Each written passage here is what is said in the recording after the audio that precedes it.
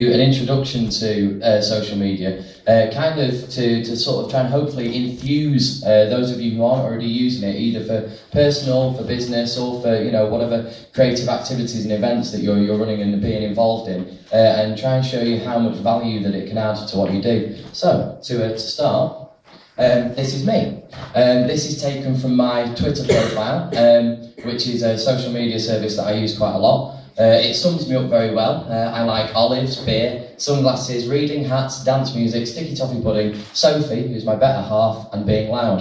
Um, it needs a little bit of an update, if I'm truthful. After the, uh, the, the recent royal wedding, I need to be able to stick cream tea on there as well. Um, big favourite of mine, and I think olives are going to go and drop down the list. Normally, I would be joined by my partner in crime. Some of you may know this man. He's quite infamous in social media circles. Um, a, a, lad called Tom Stables, who is uh, my business partner in our company, Three Man Factory. Uh, the reason that we feel qualified, or, you know, I'm saying we, he's not even here, it's as if he stood next to me. The reason that we're qualified, we think, to talk to you about this sort of stuff um, is that Tom lectures at UCLan on online reputation management, which is kind of a posh way of just saying uh, what you should and shouldn't do and say online. Um, and I formerly ran a PR company called Duchess of Grange, advising uh, private and business clients again on how to present themselves in the online world.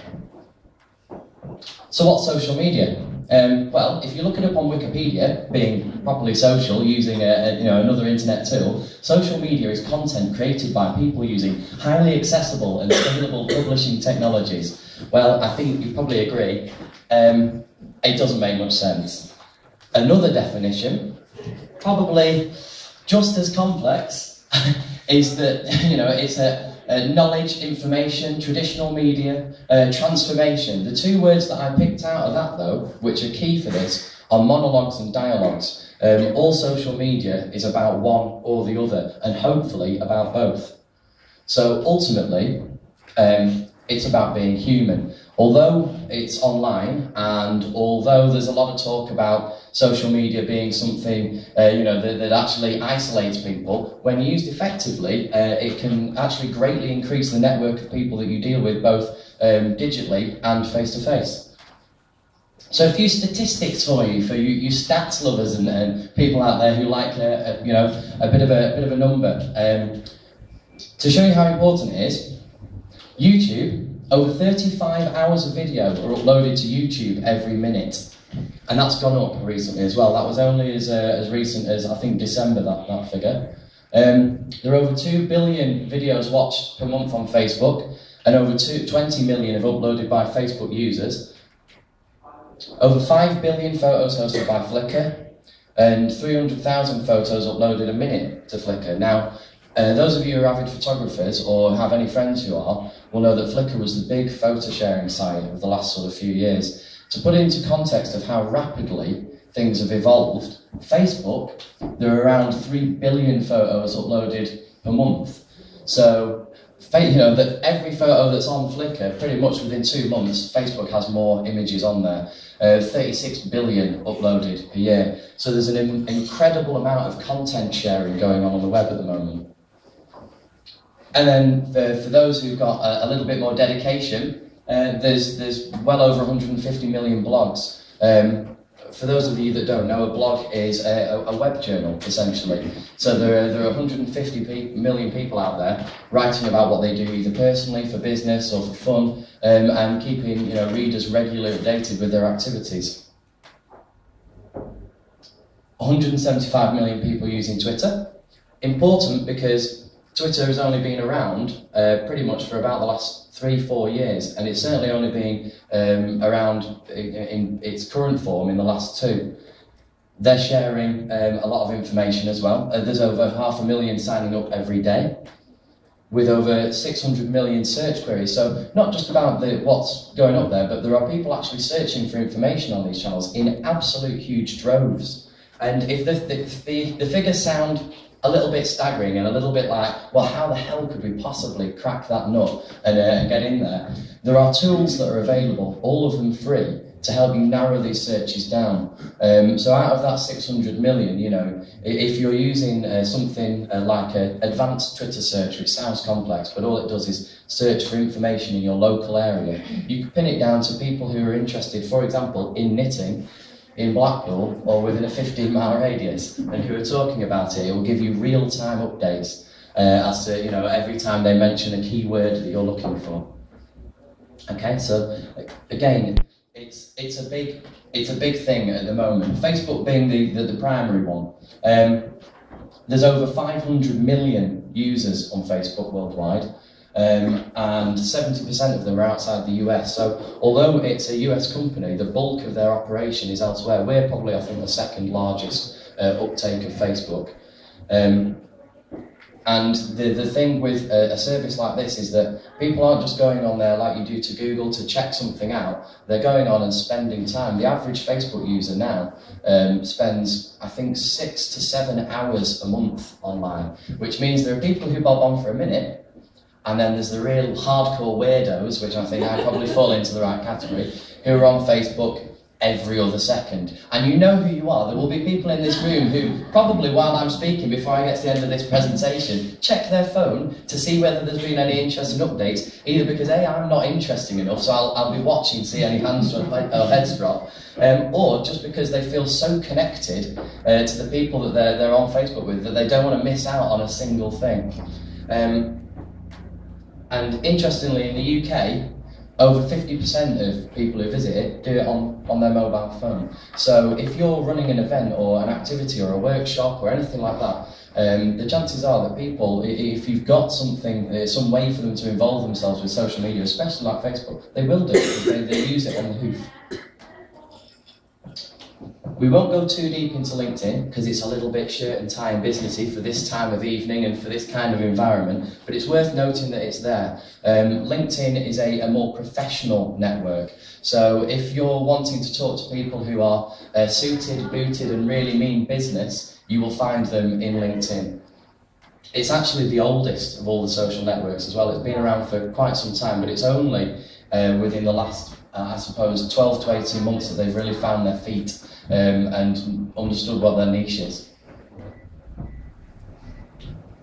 And then finally, for just listing over a, a few services, one that probably only myself I think Duncan and maybe John sat at the back down there. Oh, we've got another that we'll know about is Foursquare. Um, Foursquare is very, very new. Um, it's kind of cutting edge in social media at the moment, and it's a service where oh, God forbid, actually what you do is you check in and tell everyone where you are at every second of the day. Um, it connects to the GPS in your mobile phone. Uh, it's the kind of social media service that causes all the scare stories in the papers when um, you know footballers are getting robbed while they're playing football and that sort of stuff. But when it's used effectively, um, it can be a, a, great driver for getting people to involve and collaborate at events. Um, they have a, a system on Foursquare where you win badges for things that you do for exploring your city.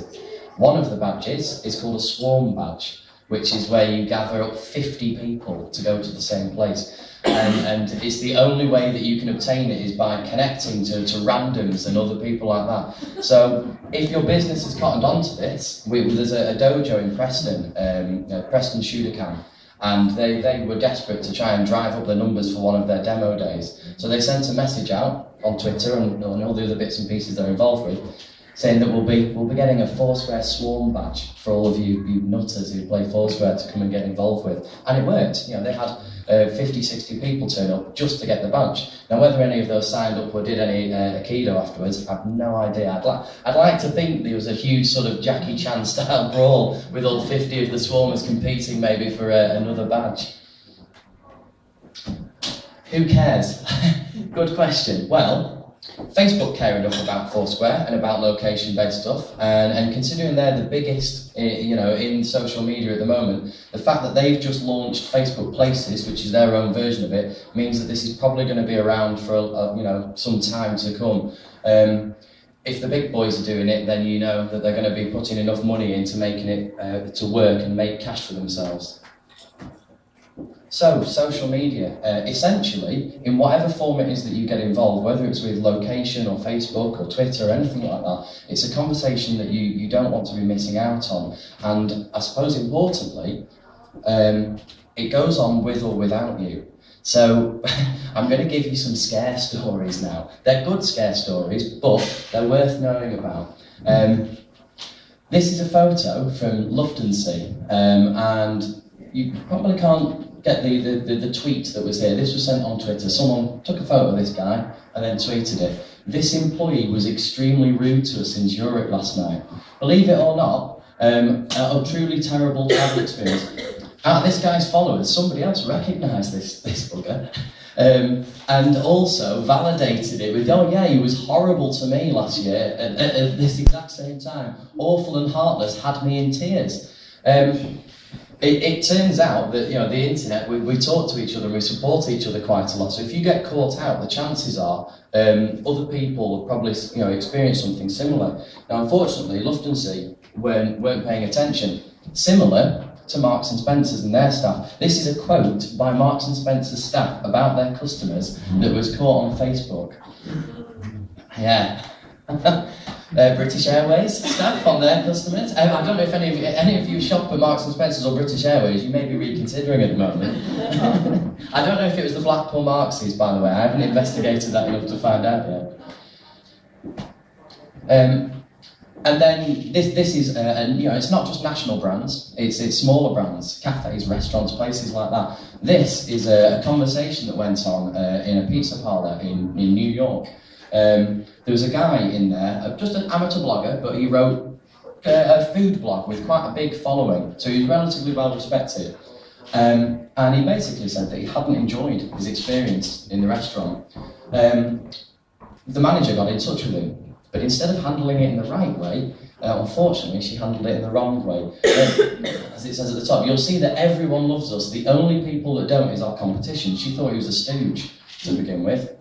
Um, and as for you having the patio all to yourself, because he sat outside, uh, it's summertime in Arizona, moron. The only only people who sit outside are tramps and losers in 110 uh, temperatures. Do us a favour and keep your ugly face and your ugly opinions to yourself uh, and go back to the restaurant that you really work at. Now, unfortunately, that, that caught on um, a, a, number of the other food blogs got hold of it, and I believe the uh, New York Times even spotted the review. So the damage that was done by handling that badly was immeasurable. British Airways, 13, um, uh, sorry, Virgin Airways, 13 rather nice looking uh, air stewardesses. Unfortunately, not them, actually, as it happens in this case, but this is what they were saying about their customers. Again, uh, airline staff being rude. Um, Virgin were paying attention all 13 of them lost their jobs. So, now that I've scared you all into not wanting to take part, um, how can people, I've got business up there because normally we do this for, for, for sort of pure uh, uh, business seminars and things like that, but I think the, the essential uh, values are exactly the same regardless of whether you're just using it personally or, or for business or for third sector. Well, firstly, um, it's a fantastic customer service tool. Uh, it, the, the, the, golden rule for me has always been that you should be uh, conversing with your customers wherever they converse. So if people are talk, trying to talk to you, like, like uh, I think um, the, the Lufthansa people were, you know, if they'd had a channel that they could have reported this guy to, they were obviously Twitter users, um, it might not have caught the same um, tempo and speed that it, it, it built up to. Wonga are a, a, great example of this. They're a, are they a shady company? I don't know. They're, they're, they're on uh, you know our local team, aren't they? Well, possibly, maybe not next year, but for the moment they still are. Um, and despite what I, I think about payday loans and maybe what everyone else does, they have exceptionally good customer service online. Um, we spotted um, a conversation going on between Tom and one of his friends. They were talking about the huge APR that Wonga have. Uh, Wonga obviously had the right tools in place, the right staff in place to listen to this, and they dived in and corrected us on it. Um, they, they basically uh, gave us the, the right information about how much their loans cost and um, the, the levels of responsibility they go to to check and things like that. And they came out of it very, very well. Well, I'm using them to quote them as an example in front of a room full of people. So effectively championing their flag for customer service, uh, not necessarily for payday loans. You may have seen this before when you get an email. Um, unlike with an email from a, from a marketing company saying, you know, would you like to buy our latest line of whatever products it is? You know, we've got um, 15, 16 new things that we want you to, you know, get your hard-earned money hold on. At the top of that email, usually it says in large writing, or it's from an email address that says do not reply. Um, social media is not like that. Social media is about replying and about connection. So unlike um, building up a wall, by communicating with uh, customers or, or, uh, interested parties via social media, uh, you, you want to encourage a conversation.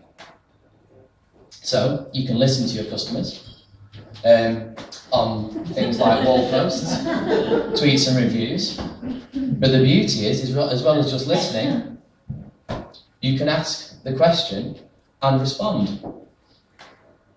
It's great for public relations. Um, it took down the barrier within within my job of approaching editors and journalists. You'll find that um, a lot of the people that you want to get hold of, if you look them up on a service like Twitter, because not everybody is using it yet, it makes it much easier to get hold of them. If you try and ring them, the likelihood is, you know, you could spend a week, a month, a year trying to get hold of someone and you'll never get through. Um, use the medium that's best. In fact, on that note, like to skip back to uh, customer service, if you want to make a complaint, especially if it's to BT. I complain to BT all of the time um, because they're just a nightmare and I have my broadband through them and it's constantly going wrong. Um, but every time I tweet them, because it's in it's in the public arena, uh, unlike a phone call where they can leave you hanging for you know 40 minutes until you're bored and you hang up. And Sky are the same. So it's just this is a side aside, but it's a good tip nonetheless. Um, if you get in contact with them on something like Twitter or their Facebook page or something like that, where the rest of the world can see it, it's unbelievable how much quicker they get back to you and, and how you know how sort of pleased they are to deal with you and try and solve whatever problem or issue it is that you have. Um, but the public relations one, yeah, it's, it's about getting past uh, the gatekeeper, essentially. Um, pretty much every um, uh, journalist at the Gazette is on Twitter. So even just for local papers, it's a fantastic way of building rapport with them as well before you were, you know, thinking about maybe sending a story in.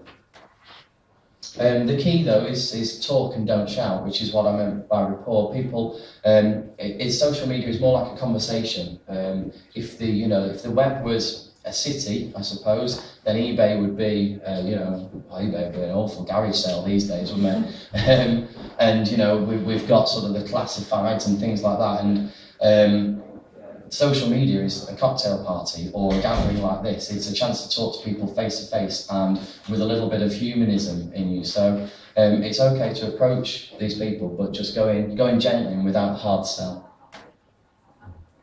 It builds loyalty incredibly well. Um, especially if you, you know, it gives you a chance to sort of talk to people before they even want to get involved with your organisation or with your product or your service or your activity. Um, a cracking example of this is a company called Christopher Ward Watches, and they make um, fine watches that have a really loyal following. And every year they, they launch uh, a limited edition watch one year on their forums where the, you know, the sort of the watch nerds go to talk about watches. I have to say it's mainly men on the Christopher Ward Watch forums. You don't tend to get a lot of girls. There are a lot of nerdy girls out there as well, though, but they're just on different forums talking about different things. Um, but on these particular forums, it's nerdy guys talking about watches. And one guy must have been especially nerdy, calling himself the Terminator. Um, you always find people on forums give themselves a name that either, I don't know, imagining a different life that they might have been or become. Um, and he was uh, not complaining, but just offering his opinion on what he thought the, uh, the, the, the, limited edition watch should have been that year. Christopher Ward, knowing how dedicated their, their you know, sort of super watch fans are, um, asked him about it. Said, you know, okay, well, what is it that you would have changed? He was like, oh, the numerals, maybe a stainless steel strap, um, possibly a black face with white, uh, you know, sort of figures on it. Uh, they made it. They made a hundred of them. Um, Terminator, I think, bought about 40 or 50 straight off the bat because they, they called it the Terminator limited edition watch. Canny piece of marketing that. You know, you've got one guy who's obviously an obsessive, so they just made him a watch, pretty much knowing that he'd go and buy them all.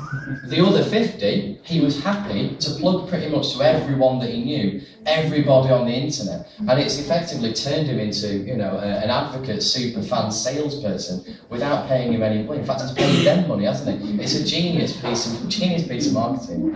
Um, but he's still come out of the other side feeling good about it, despite the fact that he spent a lot of money.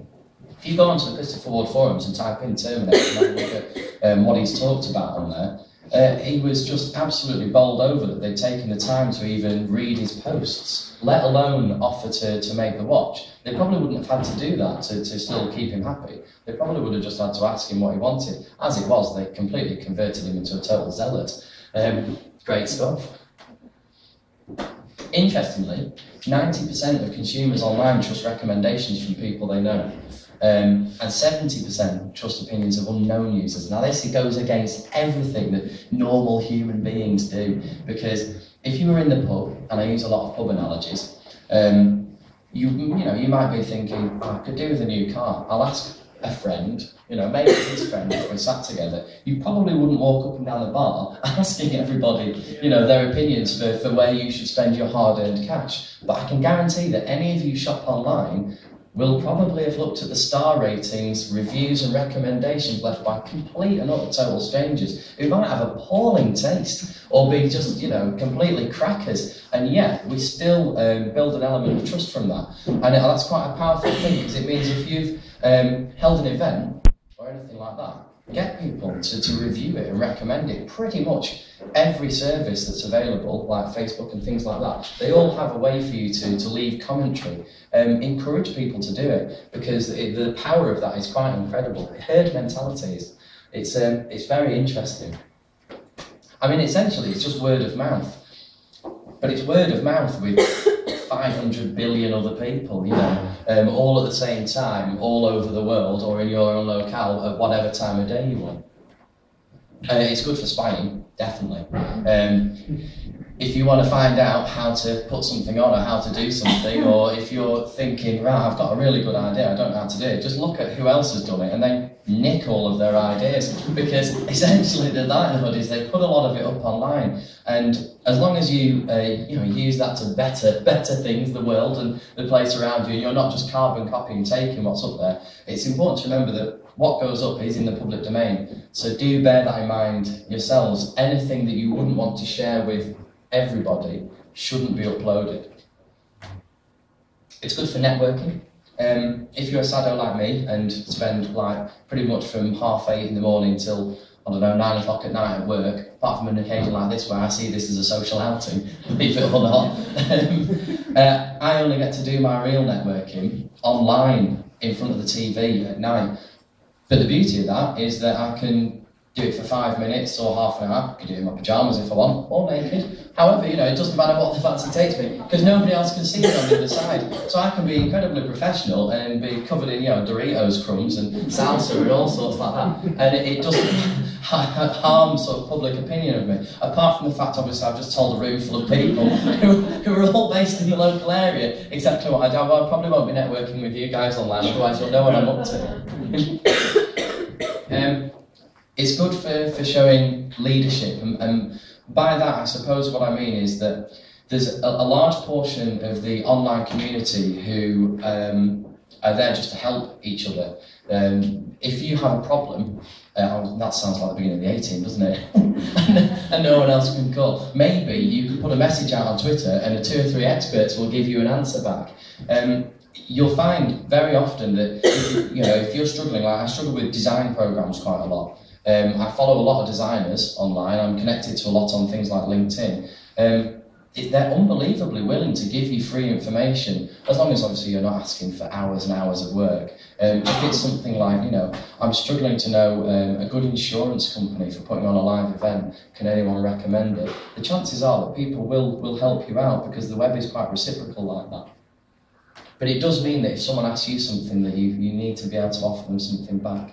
Um, customer acquisition, or it could be you know, network acquisition. It's just the building of the, the people who are important to whatever it is that you're doing. This happens naturally if you follow all of those steps. That sounds dead simple, doesn't it? Follow all these steps of having good customer service, PR, um, making sure you know what the competition's up to and all that sort of stuff. But the, the, the basic um, principle with it is that as soon as you start getting involved in social media, as long as you put a time limit on it and you don't spend all day sat there, which is very easy to do, you need to have an objective. This will happen as a natural result. It, it just does. I've been sort of involved with, with social media and with businesses for about about probably four years now, and sort of two years with it running quite rapidly.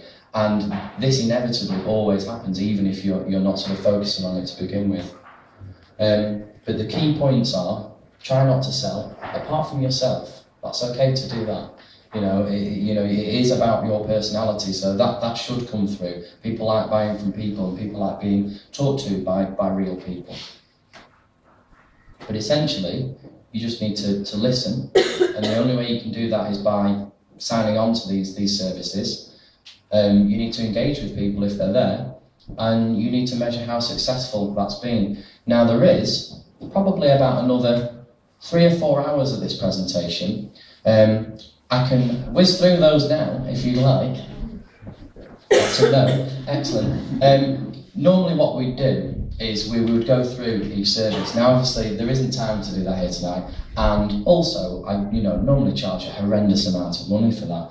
But if you'd like me to glance over a couple of the key points for setting up your Facebook, your Twitter, and your LinkedIn, I, I need a show of nods. I will do, and I'll just give you some important tips. If you would rather um, get online, get on LinkedIn, Twitter, or Facebook, and find myself um, you're welcome to ask me these all in your, your own time, and I'll probably give you all this information for, for nothing anyway, because that's kind of what this is about. Um, so,